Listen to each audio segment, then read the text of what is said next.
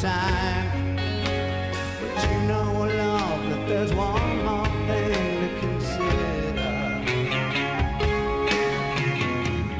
Said woman, take it slow, and things will be just fine.